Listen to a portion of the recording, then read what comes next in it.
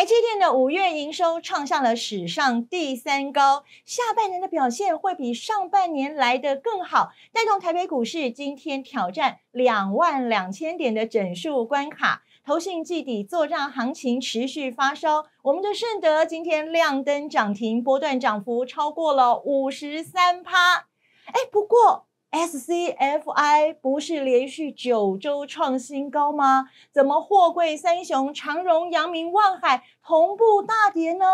？AI 的走势也分歧，散热双红、旗红强力反弹，黄仁勋标股地图的所罗门、广运却同步下跌。台股波动这么大，该怎么掌握才好呢？大仁哥，好，台积电又是一个人武林吗？还是又要展开人气我取的行情呢？五月份的营收有没有爆出名牌？航运股还有机会吗？选股和操作重点都在今天节目，很重要，你一定要看哦。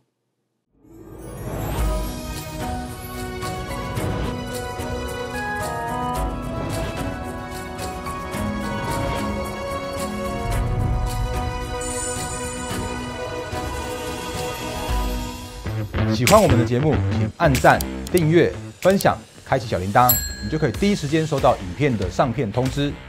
要获得最早、最专业的盘势提醒和更多的精选个股分享，请加我的 LINE 官方账号，ID 是小老鼠 D A R E N 八八八。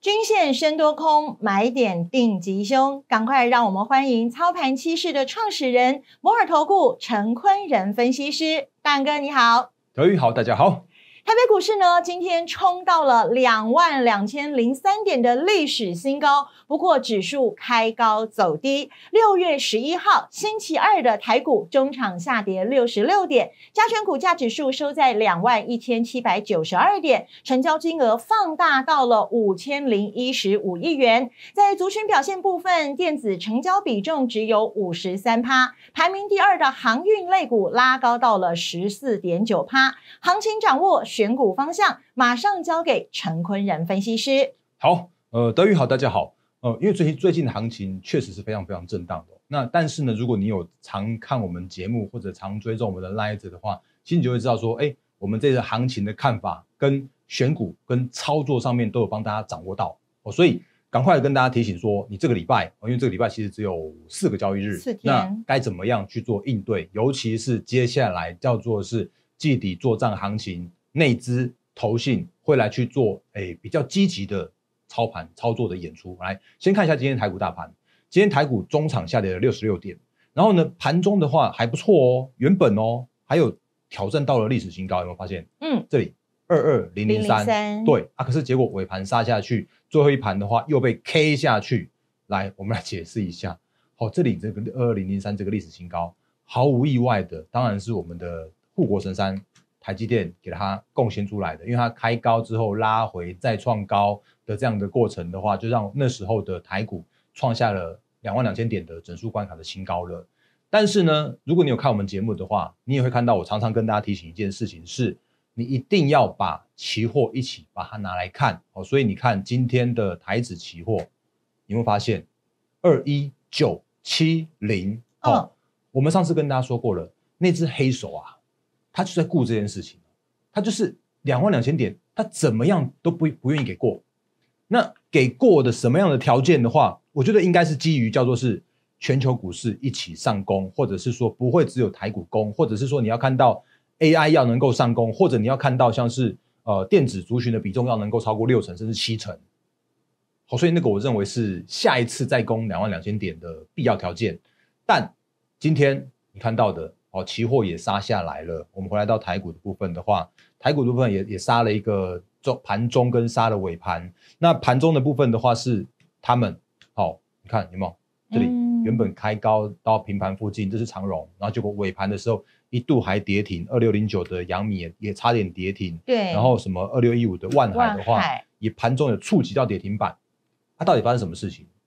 或者是说，我这给你看一下好了，台积电。你怎么莫名其妙又被又被这样上杀下去？嗯，好，所以这是今天的台股遇到的问题。那遇到问题的时候，我们就来解答这个问题怎么发生，或者如何去做应应嘛。哈，我们先看一个大方向。大方向的部分的话，一定是基于美股要能够涨，那我们的台股要能够跟，然然后呢，指标股要能够呃创高的这样子的多头行情。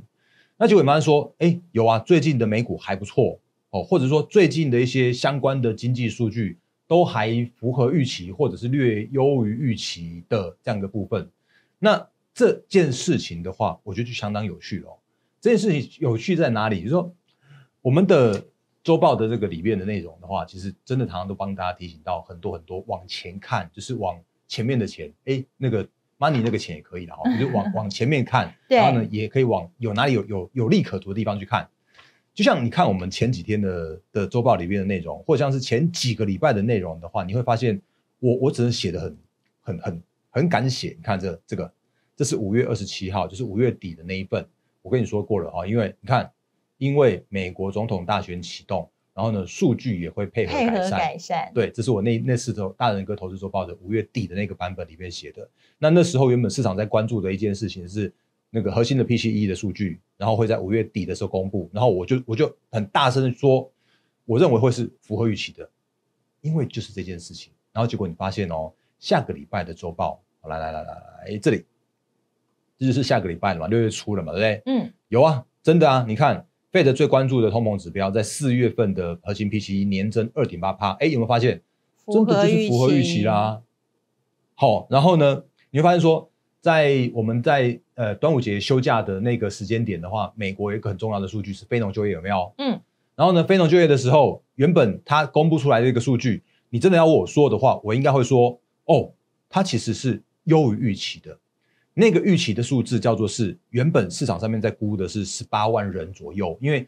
五月份的非农应该算是一个合乎合乎目前市场上面预期的状态的话，是大概十十八万人左右。对，结果没想到他竟然公布出来那个数字是说多少？二十七点二万。二十七点二万人呢？这件事情你看到这个你会觉得很恐怖哦，你会觉得说哇，怎么非农这么好，就是就业这么好，就业市场这么强劲，那你别想升，别想降息了啦，因为。费德在关注的一件事情是，你看核心 PCE 算不错了嘛，算符合预期了嘛？结果那个就业市场人数是这么样的好的状况之下的话，他不可能去做一个调控经济的动作。结果呢，那天的美股没跌，然后呢，到了呃今天凌晨的美股的主要指数，竟然是创下了，你看那个费半就好了，费半创高了，对，费半竟然是创下历史新高。哦，这样给你看这个 K 线会比较清楚。广运待会有机会再说，因为他今天又。又拉惨了，来，费半指数的话，哇，怎么竟然创下了历史新高，一点四二趴？然后呢，TSM 台积电 ADR 竟然涨了二点二九趴，创下历史新高。然后呢，NVDA 回答，嗯，回答它分割之后的话还不错哦，股价虽然是持稳的，这个这个这个上影线不是哦，哦，这个只是分割而已哦，这个只是它是用一个分割的动作来来去做，把这个。数字变成了一百二十一，好像原原本是一千两百零八十八嘛，一二一二零八点八八的那个最后那一盘。对，然后呢，这边的话回来到一个分割后就是除以十的拆股的动作了。那目前看起来的话，状况还不错，我，就是至少还是走势一个相相对平稳的过程。可是回到我们刚刚前面说到重点了，就是你会发现说我们在讲这个数据的时候，你看我说这里。优于预期的数据，可是美股没有跌，那到底是发生什么事情？原因就是因为我跟大家做过预告的，叫做是美国总统大选的行情数据会配合转加，好，所以这个数据有一些法人、有一些研研究机构去看了这些数据之后的话，他们发现说，哦，原来如此，哦，美国的经济数据并没有想象中的这么样的强劲，因为你劳工统计局，你竟然去。动了手脚，有没有？我这边写到的是劳工统计局去做了美化数据。那这个美化数据，他做了什么事情？我也跟大家说过了。他做这件事情的话，其实他在做的一件事情叫做是把这个、这个、这个、这个、这个，好，这里他们也有一个项目叫做是出生死亡调整的这个数字。出生死亡不是人的出生调死亡，它是。一些企业的新创和倒闭，它叫做出生和死亡。是公司的，对，是公司的部分的新创和倒闭。然后结果呢？这个数据，它叫做是二十三点一万人，就是二十七里面有二十三是灌水的。哇，好啊，这个数据的话，它灌水的原因，就是因为让市场上面知道说，哦，我的美国经济好棒棒，哦，我们的那个呃，就是陷入市市场上面一片繁荣，一片一片一片乐那个乐观的景象。但我告诉你，看得懂的人就知道了，说，哦，原来非农数据并没有想象中的这么样的强劲，它只是一个符合预期，或者是说接下来就会到九月份或十一月份就有机会让 Fed 去做第一次降息循环开始。的这样一个政策，那当然还是要等到这个礼拜，包含了像是 CPI，跟包含了像是 Fed 利率决议会议，尤其是在会后鲍尔他讲出来的话，以他讲的话为准。但我告诉你，市场上面的法人都已经在预估说，接下来就是走一个九或十一月启动降息的过程。那这也就表示说，这里跟大家分析过了，当美国在做第一次的降息循环开始的时候。那都是多头行情能够持续延续的时候，所以你看九月份或十一分月份要降息的话，也就表示说从现在开始，现在是六月、七、八、九哦，对，然后呢再来十，再来十一，也就表示说我们刚刚算起来的话，大约有六个月的这个波段的多头的行情，我认为能够延续。好，那这就是以大方向的一个。一个那个个的趋势的观察的角度来说的，那当然，如果以短线上面来观察的时候的话，就会有一点点，就是走势比较分歧一点点。就像你看到今天的台股是创下了两万两千点的历史新高之后，嗯，有压回。那压回的过程的话，是因为台积电把它下压的，或者像是比较像是航运股把它下压的，然后或者像是我们刚刚也有特别跟大家提醒到的是说，哎，你看哦，像是电子的资金比重的部分的话，它就真的变成是电子。只有五十三趴了，然后结果呢？航运的话有十四点十点多多趴。嗯，这个数字的话，如果你印象还深刻的话，上一次的电子掉到了四成左右的时候，四成多的时候的话，我那时候跟大家讲到一个关键字，叫的是这个人气，我去，或者是说最近的行情要是一手，但是不攻。好，电子。要能够往上攻击的时候，或者是说 AI 要能够往上去做带动的时候，你才会看到台股叫做是全面一起启动啊，否则是像今天的话，就是只有抢台积电哦，最后尾尾盘的话，台积电还被压下来，然后呢，这种电子比重只只剩下五成的时候的话，它就是比较倾向一个叫做是不不想要去做一个上攻的动作。当然有一个原因是因为上个礼拜该出现的利多全部都出现过一轮了，因为 Computex，因为黄仁勋。然后他也离开台湾了，然后下次再回来的话，听说是年底，当然不会等到年底才涨啦。但是我告诉你，短线上面的一些利多被实现之后的话，就会发现说，哎，有一些前一波的一些指标股二三五九的所罗门，有没有发现？就在它公布出来地图的当天，隔天就开始反转向下。嗯，好，今天还跌了六趴多。哦，那这种个股的话，很早就跟大家说过了。如果你是看着我们的。股魔力的的所罗门的话，其实那时候就在在接近一百块这附近，好，因为我们这一段这一段我们真的是毫无预期的，它就喷上去了，因为它就是那个 GTC 辉达 GTC，竟然后面那个背板有一个所罗门的 logo，它就喷上去了，没错，嗯，然后结果它喷上去之后，压回的过程之中，我们在这边啦，一百零八块这附近，好，我们的股魔力的买讯前几天的节目。都有跟你揭露的很清楚，因为今天时间比较有限的关系，我就没有跟你讲那么多。但是我告诉你，你可以买在一一百零八，你为什么要追在一百八？啊，你一百八跌到一百五十六，你这边是一张就就就亏了两万多块耶。可是你可以这样，你可以你可以原本一张一张可以赚八万块的，你为什么要追高去一张赔两万？哦，所以这个是我跟大家说过的，有很多的情境都是你要买那个守稳转强的买点。而不是去做一个过度追高的买点，这是所罗门的部分。那另外一档个股的话是广运，诶，因为我相信广运应该也套了蛮多人，因为他那天也是一样啊，跟着黄仁勋去去吃吃喝喝，然后当天涨停板，然后呢那个地图的时候公布出来又涨停板，结果两天涨停板之后的话，咚咚咚，一二三，红 K 之后又一根黑 K，现在是跌了六趴，又跌破了月线的很重要的的支撑的地方。那这种个股的话，短线上面必然必要去做整理。可是这些个股认为他们依然还是有它未来的 AI 的优势哦。那不管呃，我我我讲说，不管他们是真或是假，我相信之后的主力依然还会对他们想要去做上下其手的动作。所以短线上面这边，如果你有呃广运也好，或像所罗门也好的话，你可能要守好一些比较属于个人停损资金的停损停跟停利。那如果你有一些操作上面的问题的话，你可以透过 Light 来问我一下，我会告诉你说，哎，你的压力杆压力大概在哪里啦，或者支撑的地方，你可以去做一个留意。那万一如果跌破支撑的时候，呃，恐怕会会整理的时间更拖得更久一点哦。所以这个是给大家一些呃参考的地方。那今天的。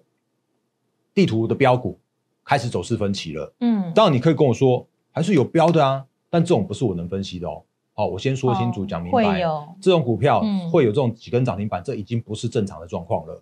那哪一天它开了，你要做的事情不是去做追高，而是如果你有，我恭喜你，可以找个地方去做呃获利了结。但是如果你没有的话，可能你这边再去做追高已经是无无谓的这样一个举动了，尤其是把自己困在一个比较高风险的情境里面。那可是你可以反过头回来想说，哎，那如果呃还有哪一些是有机会的，或者说哪一些族群是已经跌出它的投资价值了哦？比方说你看哦，今天有一个很大的新闻是外资开始力挺了散热族群，嗯，哦，比方说像三六一呃三零一七的旗红，今天盘中也差点要涨停板，今天还涨了七趴多。那双红的部分的话，上次跟大家说千金如果没过的话。请你就别追了，哦，你看它从那个千金那边一路这样跌下来，跌掉了两百块，快两百块耶，一张快跌到快二十万呢，哦，所以这种这种个股的话，我都没有让我们的新进会员去做一个过度的追加，可是有一些就是逢高去做获利了结动作的话是必要的。那当它在下跌的过程之中的话，其实这两档个股，请你稍微关注一下它，请你稍微去做留意一下它，哦，原因是因为这两档个股毕竟它还是很重要的。散热，尤其是水冷式散热的领头羊，因为这两档个股接下来的 GB 两百，甚至未来的几代，因为它耗能越来越大，所以它必须要更好的散热，它是必须要从以前的气冷变成是未来的水冷技术。嗯，所以在这样情境之下的话，这两档个股不会寂寞。那只是他们两档个股在反映了明年的获利的之后的话，必须要先做一个拉回。所以你要看，比方说好了，像双双红的部分的话。你可能要留意一下，说，哎，它什么时候能够在季线这边，比方说打个底部出来，或者说重新再站稳了，站稳了季线，甚或是说，如我们之前所说的，哎，能不能打个整个带弹，再打个顺水推舟三升三世，再去攻高点，甚至突破千金，所以它可能需要一些些时间。所以这个族群，它至少都是跌出它的投资价值出来了。可是什么时候转强，你可能要还是要参考所谓的技术面。的部分去做去做一个操作，这是在呃 AI 的族群的部分。那 AI 其实我认为它依然还是会是中长期的趋势非常明确的的一个主流的产业或主一个主流的类股。只是在选股的方向来说的话，你就必须要有更更拿捏着叫是资金的轮动的方向来说。那你看哦，像像今天的族群的部分，就是很明显。今天的族群的一个轮动，我直接从成交值来去做一个排序，有没有？第一名当然毫无意外的，就是在台积电身上。嗯，那你往下看下去的话，你就发现说，哎，我们刚刚分析的旗红，它就真的被市场上面来去做一个关注了。往下看下去的话，你还看到双红，有没有？嗯，所以这个市场上面正在盯这种所谓的叠升的优质的好的股票，好，所以市场的资金就会去做一个逢低去做一个承接的进场的动作。好，这是在呃散热的部分。那当然你会看到另外一个族群，就是我刚刚前面说到的，你看长阳明在第二名，然后呢长荣在第三名，然后万海的话是在第几名？一二三四五六，大概第五、第六名左右。这边还有红海了。哦，那第五名的部分的话叫做是启宏，第六名是万海。那他们发生什么事情？为什么会今天突然盘中刚刚看到的是开个小高之后盘中杀下去，然后结果还跌停？对，盘中还还。盘中的时候还竟然还去跌停，那这个原因的话，其实就是我们也跟大家讲过很多很多次的，就是你要盯这种景气循环的股票的话，你就要盯紧着运价，盯紧着报价，因为景气循环股要看报价，景气循环股要看报价，这个我们已经讲过 N 百次了。当然你会跟我说啊，有啊，那个 SCFI 的指数它不就是不就是创下了九九个星期以来的新高点吗？上礼拜五的时候才公布出来说还在创高啊，所以结果早上的时候应该蛮多人跳下去买长荣或者阳明跟万海。那可是这边刚刚发生什么事情？这边的事情的话，我刚刚的盘中的 light 有跟大家做过提醒。那这个提醒的话，好，我你可以看我们的那个 light 的右上角的记事本，应该还留在上面哦。如果你是啊，如果你是新的呃新的加入我们 light 的粉丝的话，你没有啊没有看到我们之前的贴文，但是你可以往右上角的贴文去看。好，那那个贴文我有讲到的一件事情是说，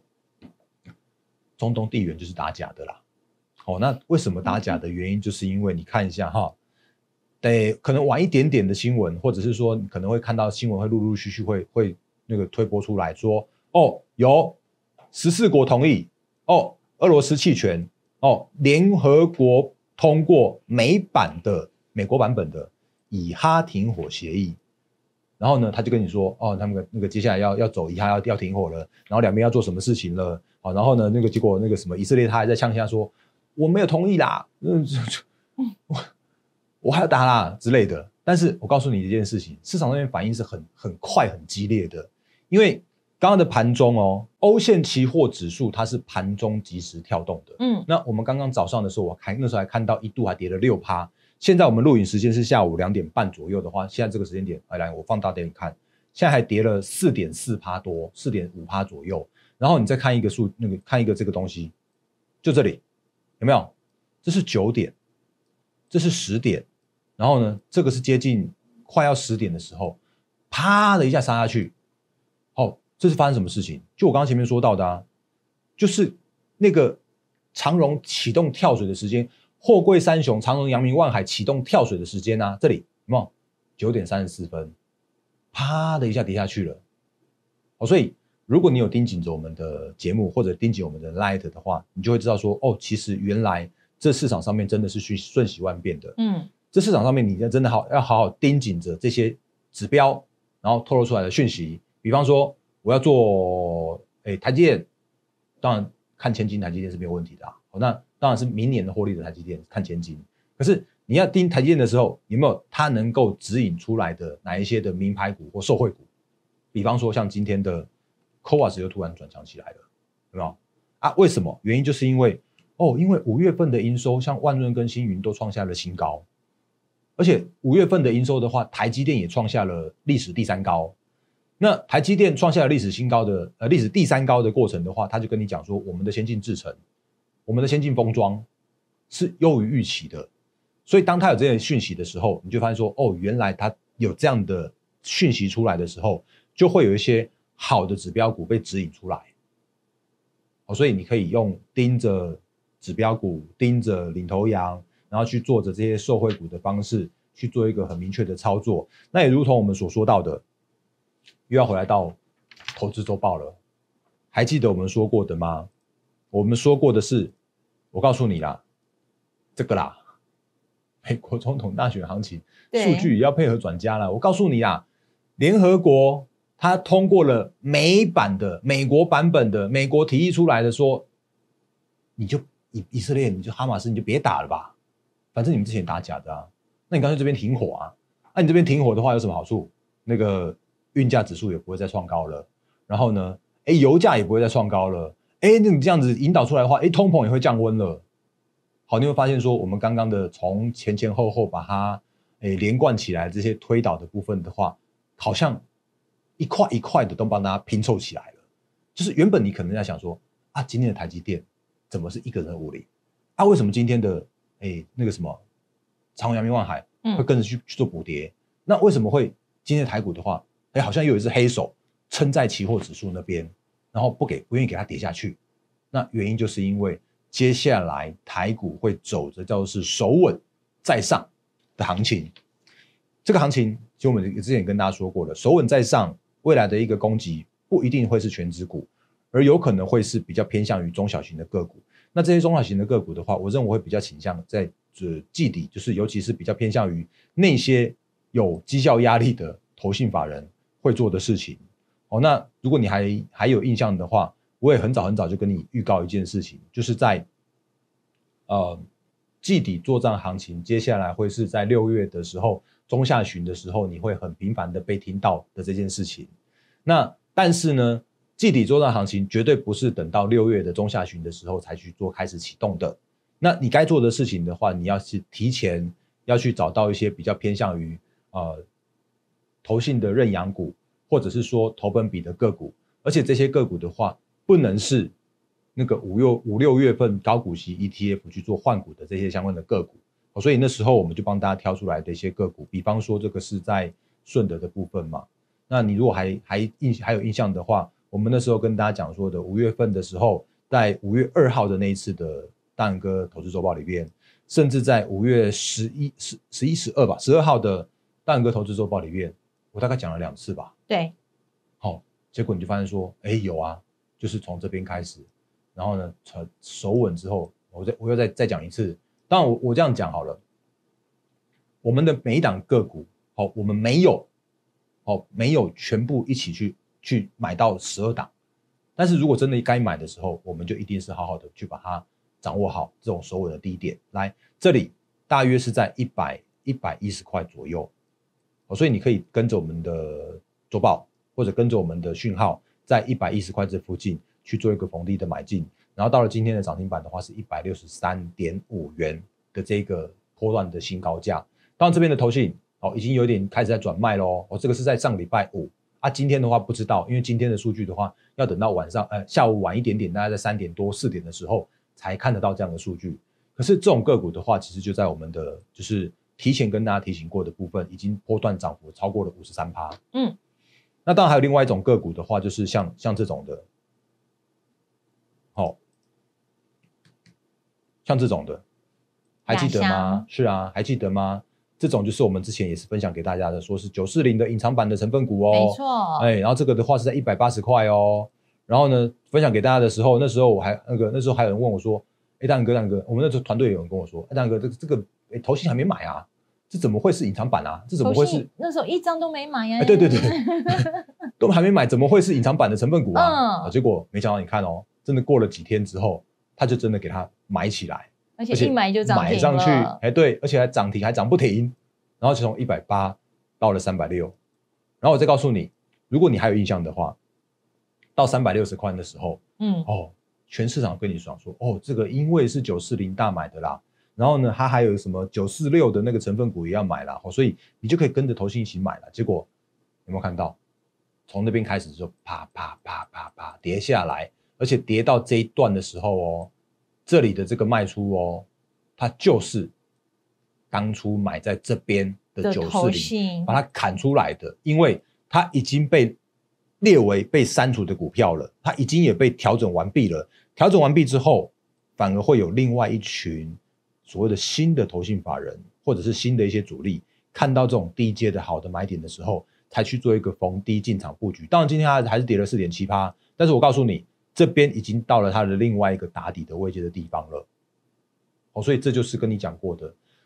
作战行情的投信和呃被动式那种追高杀低的投信，它绝对你要分开来看，哦，你不可以混在一起看，因为你如果混在一起看的话，你会被这些迷失给误导，而且你会变得是追高杀低，而且会错过很多很好的一些股票，哦，所以是在呃呃季底作战行情的时候要跟大家提醒到的一个地方。那再跟大家提醒另外一件事情，就是我刚刚前面讲到的是在呃台积电的操作的部分。那我也跟你预告的是，我记得我们在上礼拜就跟大家说过了哈，在上礼拜的时候就跟大家说过，说因为这礼拜六月十三号的台积电它要除息三点五元，然后呢，我也把它放在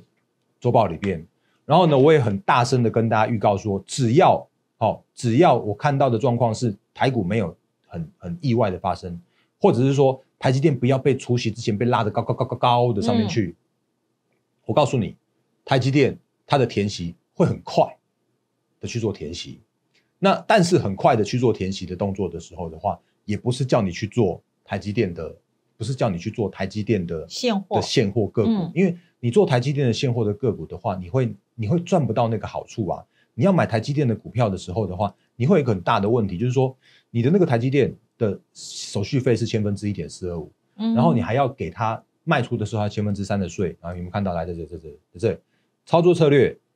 有没有？股东会召呃召开高峰之后，接续要进入除息和填息的行情。那本周请你关注是六月十三号的台积电要除息，然后呢，只要没有重大意外利空或者是除息被拉的过高的的状况之下，会有可能预期会快速的填息。你可以透过我们教给大家的教的是股票期货吃豆腐的策略去做台积电的除息的行情。那这个吃豆腐的策略，因为没有那么多时间的关系，你可以用这个六月十二号收盘前，哦，你去买好台积电的股票期货。那台积电期货股票期货大概保证金二十出头万就有了，哦，因为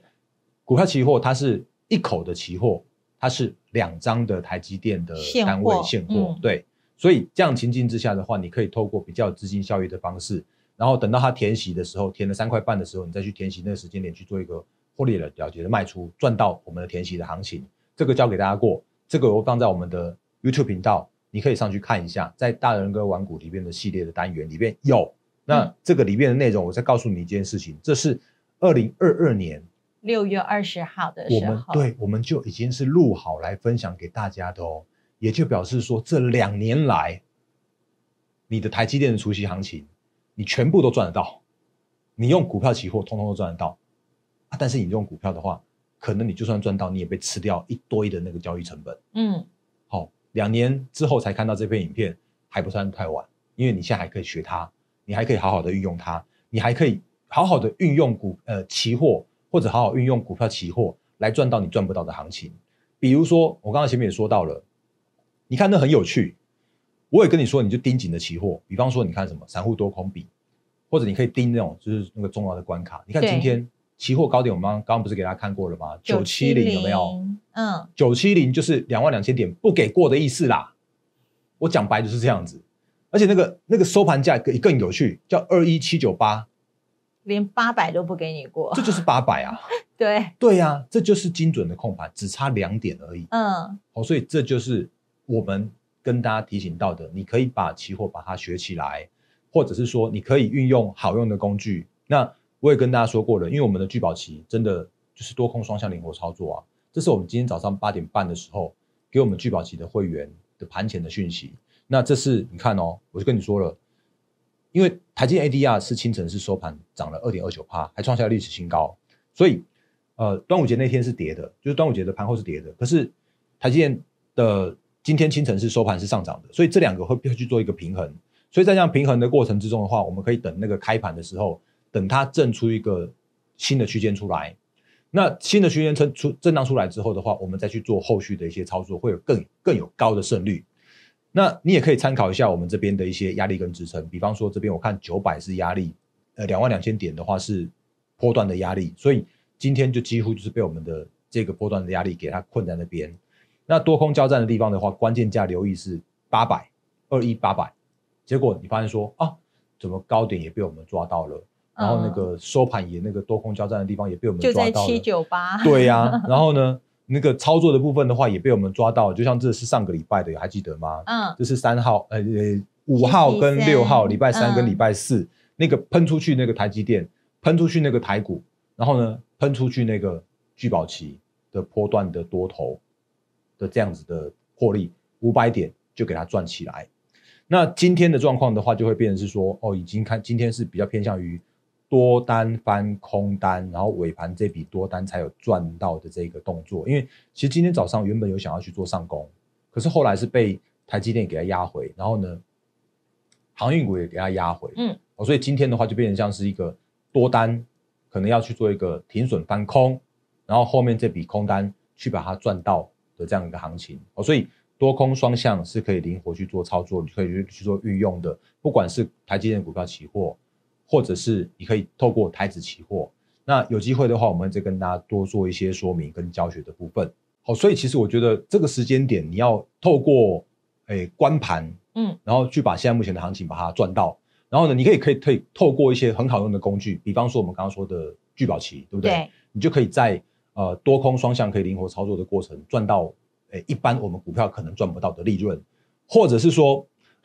我会常常说的，就是我们有一些。诶，很可爱的会员，就是每天每天都是手很痒，因为我们的股票并没有很多，我们都是用核心持股波段操作的。可是如果他们想要做一些股票的时候，就会回归到说啊，那就干脆用，哎，也是很好用的工具，还记得吗？股魔力股魔力是的，嗯，股魔力，好，就把它，哎，你要做什么股票，就把它输入进去，然后输进去之后的话，如果真的到价的时候，它就会叮咚你，叮咚你。嗯，那我们最近的股魔力快要改版了哦，那个升级版本的部分的话，会比现在目前你看到这个就是红绿版，就就一般正常的 K 线来更漂亮哦，因为它会有那个趋势版，就是会抓趋势转对，红红红红红的时候，你就是放心的跟着我们的红色的买讯去做买进。那转绿了或者转到别的讯号的时候的话，你就要小心说，哎，那个趋势已经有一些转折了哦，所以这是在当时去年哦不会再回来的创意跟四星七零四和哎八三八的那两个精准的买点的地方，这是及时多讯我当时的这个情境。那现在目前新版的部分的话，我刚刚不是有说了吗？所罗门，你可以买一百零一，你可以买一百零八，你为什么要买一百八？这当时我们在在一百零一点五这附近有出现两次，的买你可以，对，你可以轻轻松松跟着我们的个股魔力去做买进的动作，一路这样喷上去，有没有看到红红红红红红的版本？哦，当然这是目前的升级版。那但是即使是即使是现在目前我们的会员手上的版本的话，你也可以很清楚的看到这个买讯跟这些黄色的记号，这都是非常非常清楚的。那另外的话呢，呃，我也跟大家说过了，你如果去拿拿起你的券商版的三足，嗯，哦，这就是右边的三足的版本的话，它绝对不可以给你任何的买卖的讯号，因为山竹或者是 XQ，他们叫做是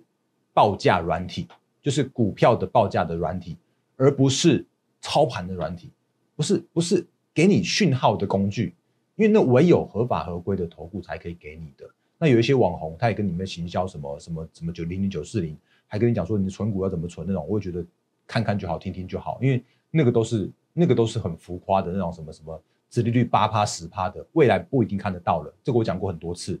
那或者是说古魔力，我们也跟大家说过了，你可以把它跟你的智慧型的手表去做联动哦。这个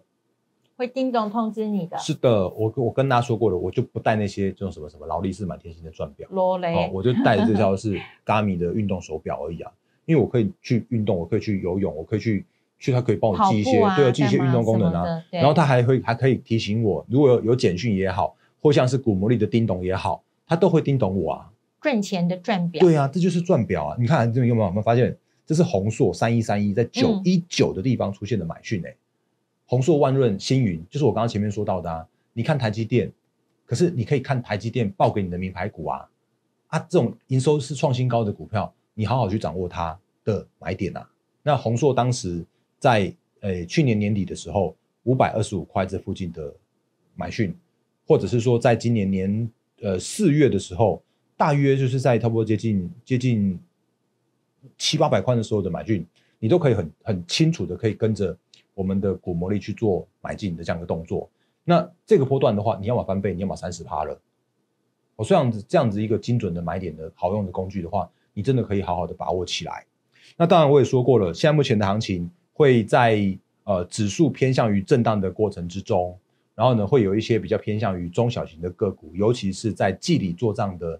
的内资主导的行情，投信也好，集团也好，会去做一个接棒演出。那如果这个时间点你真的有去做追追高追到了航运股也好啦，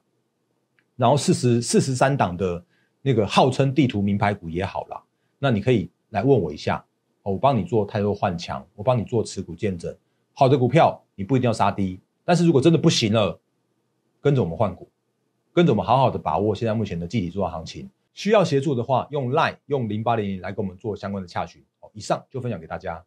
如果你手上的持股需要大人哥的帮助，或者是你想要跟着大人哥一起提早逢低卡位投信季底作战行情，免付费的专线电话零八零零六六八零八五零八零零六六八零八五，现在就可以立刻拨打，或者是呢把大人哥免费的 Light 粉丝团加起来，我们的 ID 小老鼠 D A R E N 八八八，小老鼠 D A R E N 八八八。感谢您的收看，也再一次谢谢面面俱到的大人哥摩尔投顾陈坤仁分析师，谢谢大人哥。谢谢。